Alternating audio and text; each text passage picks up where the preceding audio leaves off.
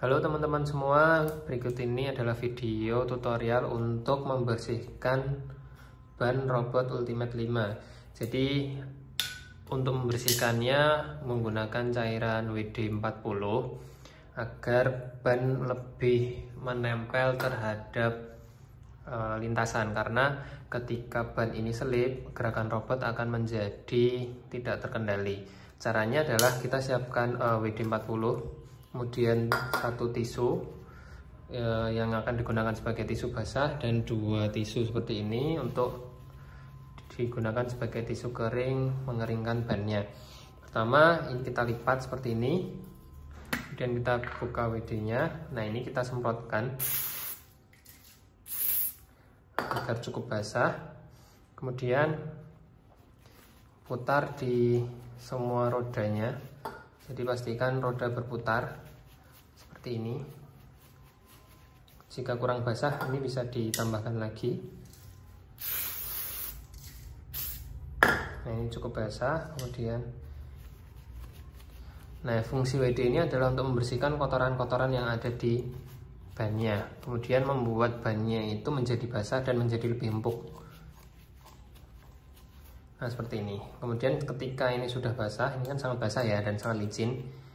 Pastikan bahwa semuanya sudah licin dan basah. Ketika sudah kita siapkan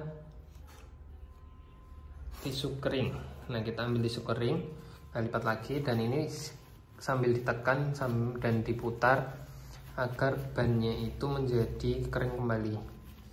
Jadi agak kering sampai agak kering seperti itu nanti sambil dirasakan di sini apakah sudah agak grip atau belum. Ketika masih uh, licin dan basah bisa diulangi tahap pengeringannya. Sambil ditekan dan sambil diputar saja.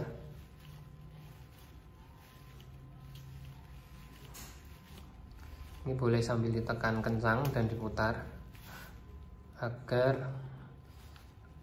WD yang ada di bannya menjadi hilang. Nah ini sudah terlihat beda ya dengan yang kiri. Nah ini kiri kan masih licin banget kemudian yang ini udah lebih empuk dan lebih ngegrip.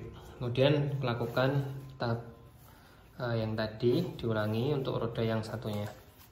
Untuk ban yang satunya. Nah ini silahkan langsung ditekan-tekan saja diputar. Sambil ditekan